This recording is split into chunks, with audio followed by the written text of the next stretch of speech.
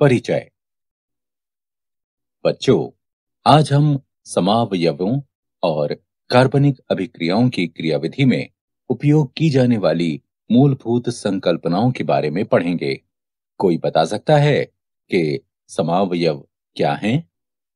क्या किसी को नहीं पता कि समावयव क्या हैं? कोई बात नहीं, मैं बताता हूँ वे कार्बनिक यौगिक जिनके अणु सूत्र समान होते हैं पर विन्यास भिन्न होते हैं समावयव कहलाते हैं। समावयवों के उदाहरण हैं डाईमेथिल ईथर और इथेनॉल। इनके अणु सूत्र समान होते हैं पर विन्यास भिन्न होते हैं। सर ये अभिक्रियाओं की क्रियाविधि क्या होती है? अभिक्रिया की क्रियाविधि विभिन्न चरणों का एक अनुक्रम है। जिसके दौरान कार्बनिक अभिक्रिया होती है। इस अध्याय में हम समावयव और कार्बनिक अभिक्रियाओं की क्रियाविधि में उपयोग की जाने वाली मूलभूत संकल्पनाओं के बारे में पढ़ेंगे। उद्देश्य? इस पाठ के अंत में आप निम्न करने में सक्षम हो जाएँगे। समावयवता और उसके प्रकारों को समझना। कार्बनिक अभिक्रियाओं की क्रियाविधि में मूलभूत संकल्पनाओं को समझना। समावयवता दो या दो से अधिक यौगिकों के ऐसे समूह, जिनके अणु सूत्र समान हों, पर विन्यास और गुण भिन्न हों समावयव कहलाते हैं। समावयवता के विभिन्न प्रकार होते हैं। समावयवता को संरचनात्मक और त्रिविम समावयवता में वर्गीकृत किया जा सकता है। संरचनात्मक समावयवता को श्रृंखला समावयवता, स्थिति समावयवता, क्रियात्मक समावयवता और मध्यावयवता में उपविभाजित किया जा सकता है। त्रिविम समावयवता को भी पुनः जयामितीय और प्रकाशीय समावयवता में वर्गीकृत किया जा सकता है। संरचनात्मक समावयवता वे यौगिक जिनके अणुसूत्र समान होते हैं, परंतु अणुओं की संरचना, अणु के अंदर परमाणुओं का परस्पर आबंधित होने का क्रम भिन्न होती है, संरचनात्मक समावयव कहलाते हैं। श्रृंखला समावयवता। श्रृंखला समावयव यौगिकों के अणुसूत्र समान होते हैं, पर कार्बन के अणुओं का एक दूसरे से जुड़ने का क्रम भिन्न भिन्न होता है। स्थिति समावयवता वह समावयवता जो समान श्रृंखला में प्रतिस्थापी समूह की स्थिति में भिन्नता के कारण होती है स्थिति समावयवता कहलाती है। क्रियात्मक समूह समावयवता इनके अणुसूत्र समान होते हैं, परंतु क्रियात्मक समूह भिन्न भिन्न होते हैं। मध्यावयवता। ये समावयवता क्रियात्मक समूह के दोनों तरफ़ कार्बन अणुओं के असमान वितरण के कारण उत्पन्न होती है। उदाहरण मेथॉक्सी प्रोपिल ईथर और डाईएथिल ईथर त्रिविम समावयवता। त्रिविम समावयव वे यौगिक होते हैं जिनमें संरचना एवं परमाणुओं के आबंधन का क्रम तो समान होता है, परंतु उनके परमाणुओं या समूहों की त्रिविम स्थितियाँ भिन्न होती हैं। त्रिविम समावयवता को जयामितीय एवं प्रकाशीय समावयवता में वर्गीकृत किया जा सकता है। कार्बनिक यौगिकों की क्रियाविधि में मूलभूत संकल्पनाएँ। कार्बनिक अभिक्रियाएँ, रासायनिक क्रियाएँ हैं, जिनमें कार्बनिक यौगिक भाग लेते हैं। कार्बनिक अणुओं को क्रियाधारक भी कहते हैं, जो किसी उचित अभिकर्मक से क्रिया करके मध्यवर्ती और उसके बाद अंतिम उत्पाद बनाते हैं। कार्बनिक अभिक्रियाओं की क्रियाविधि प्राथमिक अभिक्रियाओं का उत्तरोत्तर क्रम है, जिसके फलस्वरूप संपूर्ण रासायनिक परिवर्तन प्राप्त होता है। सह संयोजक आबंध का वितलन। एक सह संयोजी आबंध को दो तरीकों से वितलित किया जा सकता है। पहला, विषम अपघटनी विदलन और दूसरा समापघटनी विदलन विषम अपघटनी विदलन में विदलित होने वाले आबंध के दोनों इलेक्ट्रॉन उनमें से किसी एक परमाणु पर चले जाते हैं, जिनके बीच आबंध का वितरण हुआ है। उदाहरण, सभी कार्बन नायनों के कार्बन परमाणु पर धनावेश होता है। नायनों का वर्गीकरण। प्राथमिक नायन इसमें कार्बन परमाणु जिस पर धनावेश होता है, केवल एक एल्किल समूह से आबंधित होता है।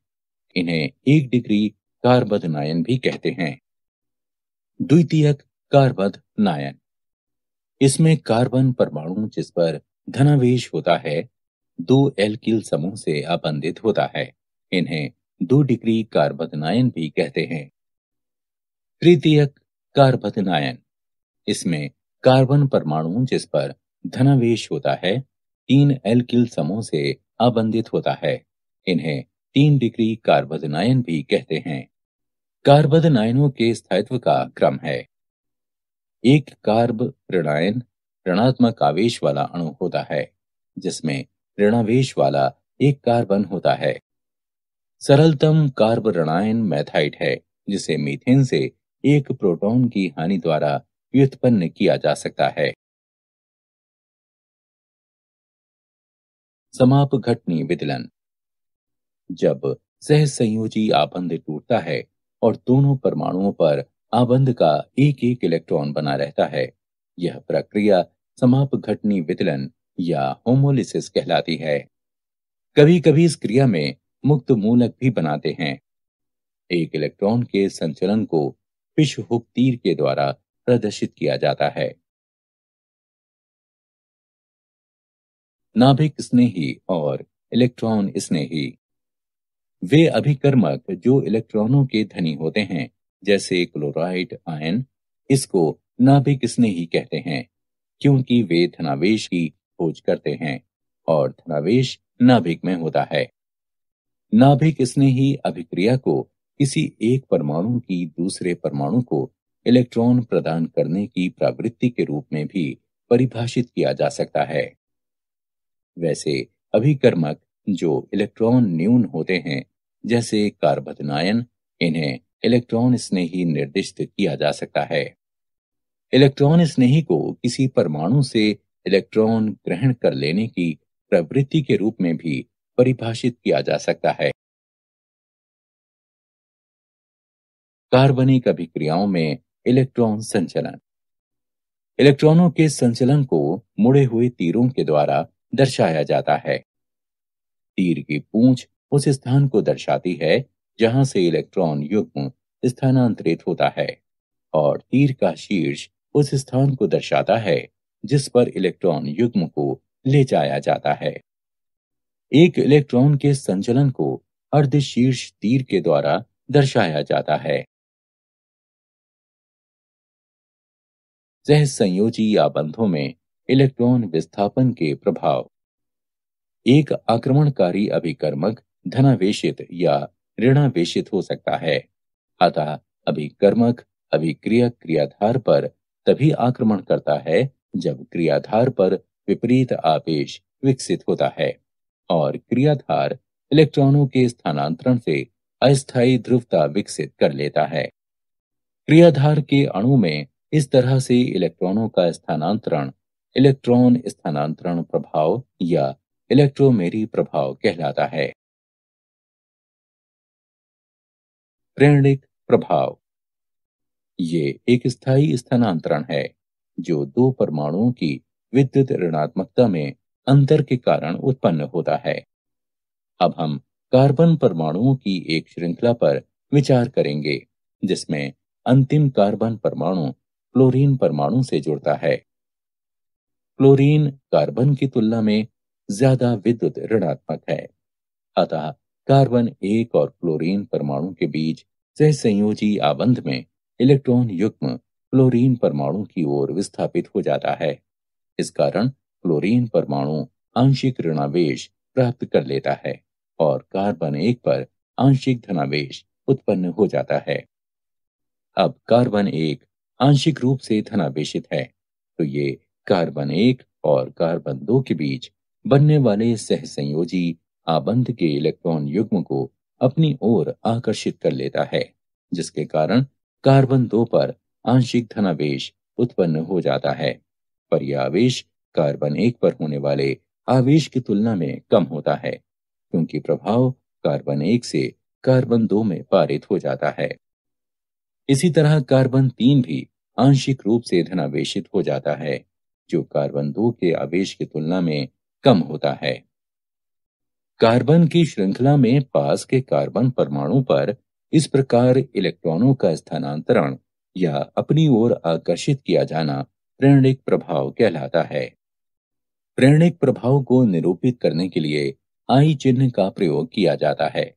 वे समूह जो इलेक्ट्रॉन ग्रहण करते हैं, वे ऋणात्मक आई प्रभाव कारक कहलाते हैं और जो समूह इलेक्ट्रॉन युक्त करते हैं, धनात्मक आई प्रभाव कारक कहलाते हैं। अनुनाद संरचना। कुछ कार्बनिक यौगिकों के व्यवहार को केवल एक लुईस संरचना के द्वारा नहीं समझाया जा सकता है। उदाहरण टालुइन अनुनाद संरचनाएँ दो या दो से अधिक लुईस संरचनाओं का प्रतिनिधित्व करती हैं, जो केवल उनके इलेक्ट्रॉनों के स्थापन में ही भिन्न होती हैं। कार्बनिक अणु पेंजीन को केवल एक लुईस संरचना के द्वारा प्रदर्शित नहीं किया जा सकता, क्योंकि इसकी चक्रीय संरचना में एकांतरित एकल और द्वि आबंध होते हैं। बेंजीन रिंग प्रथम और द्वितीय संरचना का अनुनाद संकर है, जिन्हें अनुनाद संरचनाएँ कहते हैं। अनुनाद संरचनाओं का अन्य उदाहरण एसिटोन आयन है। अनुनाद संकर की वास्तविक संरचना और न्यूनतम ऊर्जा वाली अनुनाद संरचना की ऊर्जा के अंतर को अनुनाद स्थायीकरण ऊर्जा कहते हैं। अनुनाद संरचनाओं को लिखते समय निम्नलिखित नियमों का पालन किया जाता है। नाभिक की समान स्थिति और अयुग्मित इलेक्ट्रॉनों की समान संख्या। अनुनाद प्रभाव। पाई इलेक्ट्रॉनों का एक से अधिक परमाणु पर विस्थानीकरण अनुनाद प्रभाव या मेसोमेरिक प्रभाव कहलाता है। इसे आर या एम से प्रदर्शित किया जाता है। इसके दो प्रकार हैं। धनात्मक अनुनाद प्रभाव, धनात्मक आर प्रभाव। ये प्रभाव उन समूहों के द्वारा प्रदर्शित किया जाता है, जो पाई इलेक्ट्रॉनों के विस्थापन के द्वारा बाकी कार्बनिक अणु के लिए इलेक्ट्रॉनों को मुक्त करते हैं। उदाहरण, एनिलीन। ऋणात्मक अनुनाद प्रभाव, ऋणात्मक आर प्रभाव। यह प्रभाव उन समूहों के द्वारा प्रदर्शित किया जाता है जो पाई इलेक्ट्रॉनों के विस्थापन द्वारा बाकी कार्बनिक अणु से इलेक्ट्रॉनों को ग्रहण करते हैं। उदाहरण के लिए, नाइट्रोज, बेंजीन। इलेक्ट्रोमेरी प्रभाव, ई प्रभाव।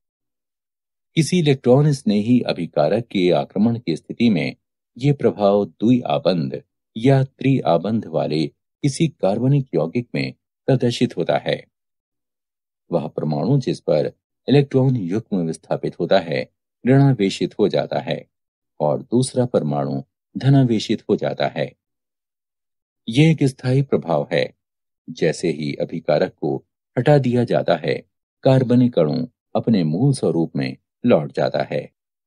वह प्रभाव जो बहु आबंध वाले अभिकर्मक अणु में इलेक्ट्रॉन स्नेही अभिकारक के प्रभाव में एक इलेक्ट्रॉन युग्म को एक परमाणु से दूसरे परमाणु पर विस्थापित करके अस्थायी ध्रुवता उत्पन्न करता है इलेक्ट्रोमेरिक प्रभाव कहलाता है।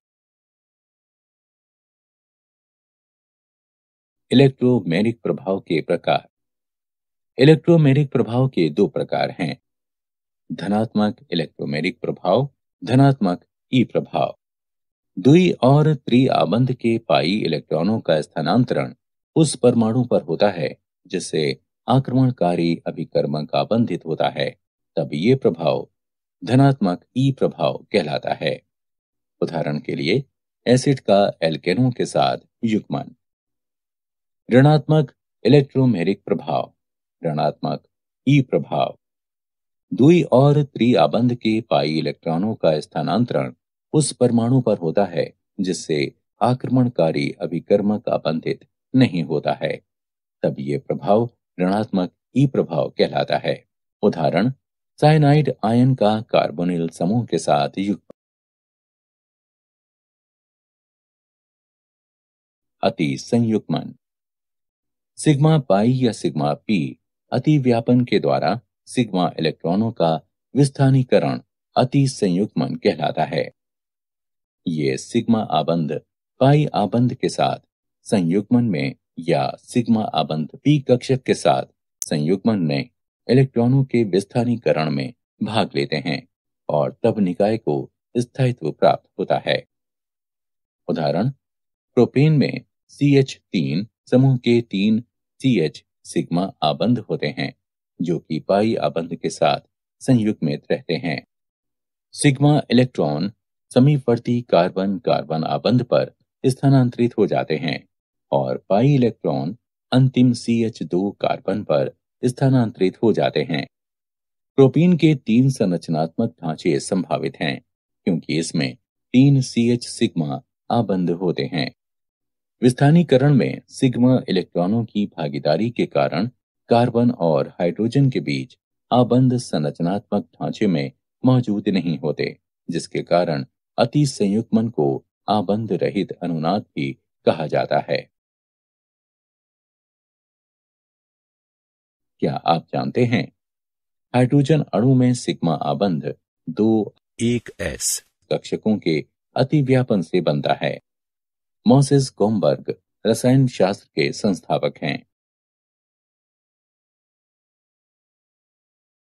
सारांश। आइए हमने जो कुछ सीखा है, उसे संक्षेप में दोहराएँ।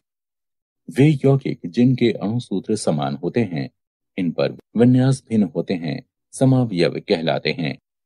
समावयवता के प्रकार हैं, संरचनात्मक समावयवता और त्रिविम समावयवता।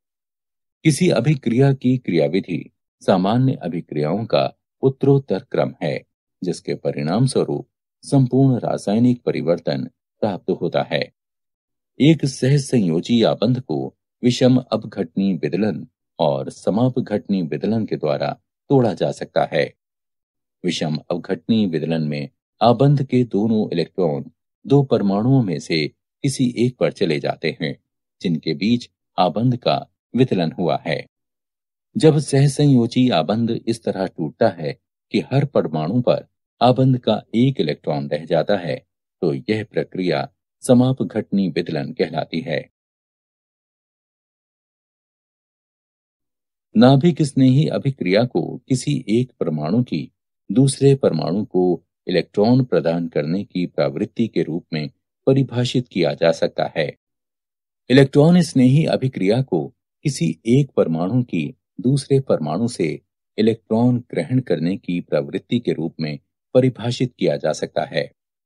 दो परमाणुओं की विद्युत ऋणात्मकता में भिन्नता के कारण इलेक्ट्रॉनों का स्थायी स्थानांतरण प्रेरणिक प्रभाव कहलाता है। पाई इलेक्ट्रॉनों का एक से अधिक परमाणुओं पर विस्थापन, अनुनाद या मेसोमेरिक प्रभाव कहलाता है। बहु आबंध वाले किसी कार्बनिक अणु में इलेक्ट्रॉन युग्म के विस्थापन के कारण उत्पन्न हुई अस्थायी ध्रुवता इलेक्ट्रोमेरी प्रभाव कहलाती है। सिग्मा पाई या सिग्मा पी अति व्यापन के द्वारा सिग्मा इलेक्ट्रॉनों का विस्थानीकरण अति संयुग्मन कहलाता है।